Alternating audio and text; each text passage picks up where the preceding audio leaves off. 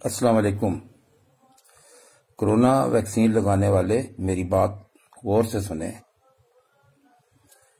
मैं corona vaccine लगवाकर जब घर वापस आया तो मुझे धुंधला नज़र आना शुरू हो गया।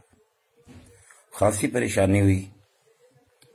फिर मैंने कोरोना सेंटर फ़ोन किया तो उन्होंने जवाब दिया कि आप जल्दी कोरोना सेंटर पहुंचें।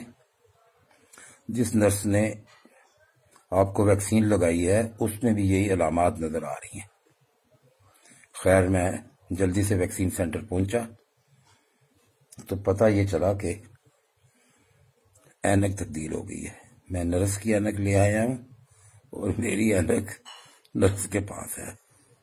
तो जब आप वैक्सीन करवाने जाएँ तो एहतियात से अपनी एनक वापस लेके रहें। शुक्रिया।